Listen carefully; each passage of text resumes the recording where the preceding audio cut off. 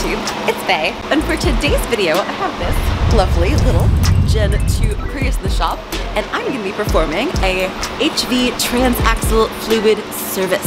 Yeah, whew, that's a mouthful. Uh, so that's what I'm showing you to do. So, without further ado, let's hop right into it. All right, tools you're gonna need for this job, pretty simple. Just a 24 millimeter socket on a long handled ratchet to have a little leverage.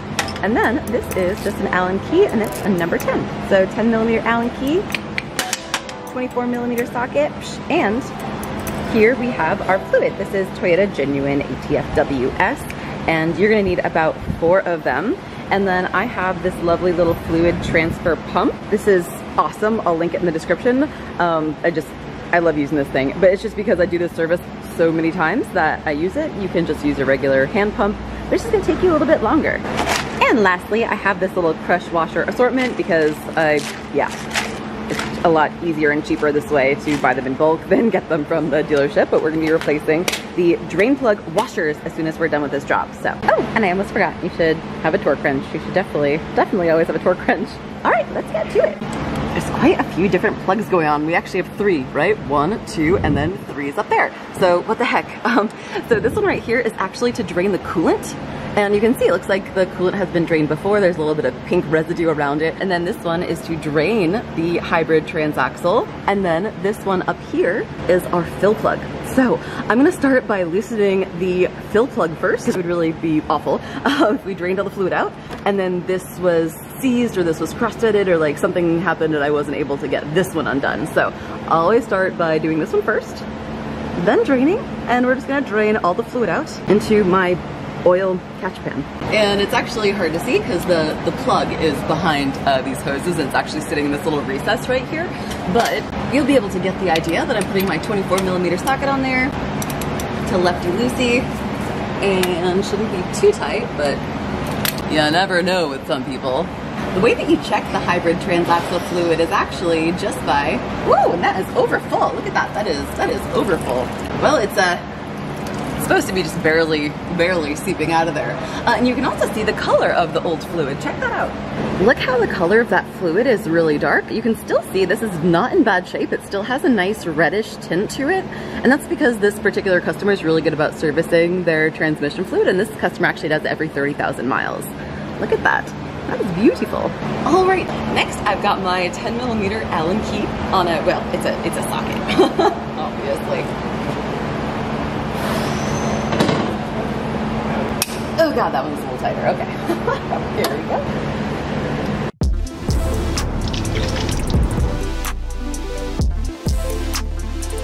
Okay, here's some fun stuff. Here is obviously the fill plug. And look at the drain plug. It has a whole mountain of metallic magnetic mess on there because that is a magnetic drain plug. So I'm gonna be cleaning that off really well before I put that back in. And then you can see here are my two old washers and here are my two new washers and those were here in my kit. So they are 18 by 24 you just want to go ahead and order two of these. Uh, yeah, so all right, I'm gonna clean these up and get these installed back in there. So there's the drain plug after it's been cleaned. There you can see the magnet a little bit better. And there's my new crush washer. See how it fits on there all nice, not too tight, not too loose.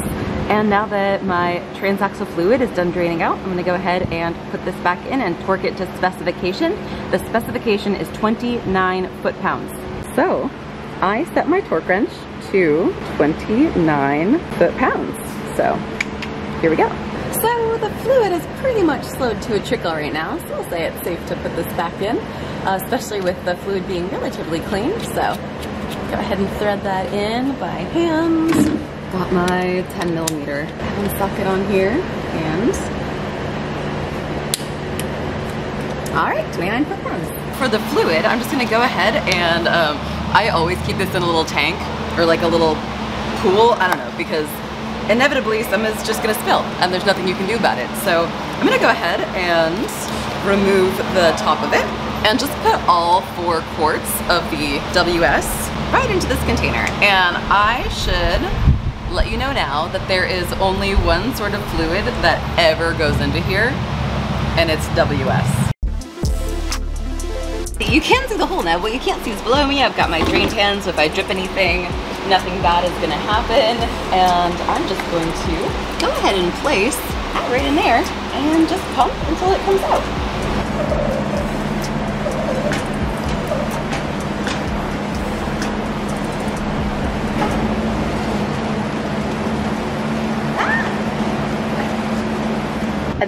Starts to overflow, there's a little bit of a stopper on this hose, but obviously I'm filming so I didn't get to it fast enough, but you're able to see now how right as soon as we got to about four quart, it started coming out. So that's when we know that we're done. I will let it trickle until it stops, and then I know that it is at the perfect level for what Toyota wants. Okay, so now that it has slowed to just a trickle, I'm gonna go ahead and install this. And this torque spec is the same. It's also 29 foot-pounds. So get that guy in there like that. Okay, 29 foot-pounds. All right, there we go. Brake parts cleaner. And voila, that's literally it. Now I'm gonna take it for a test drive and we call that a day. See how easy that is? Thank you so much for watching. I hope that you enjoyed this video and if you did, go ahead and uh, give me a thumbs up and leave me a positive comment or something like that. Or don't, I don't know, doesn't matter. See you in my next video, bye.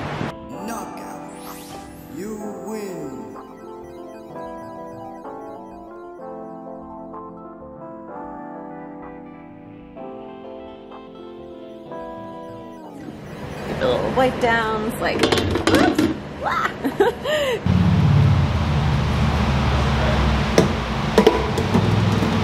oh.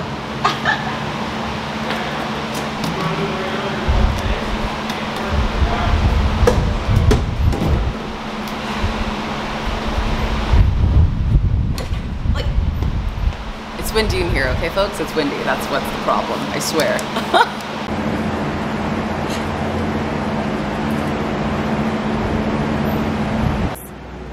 started coming out. So that's, oops, and 29 foot-pounds. Uh-huh.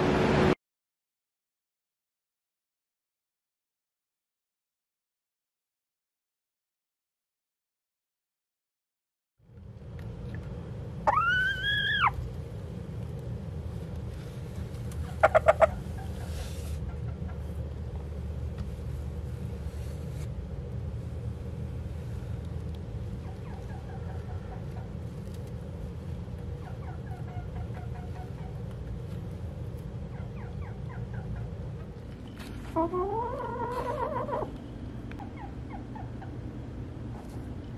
ha ha!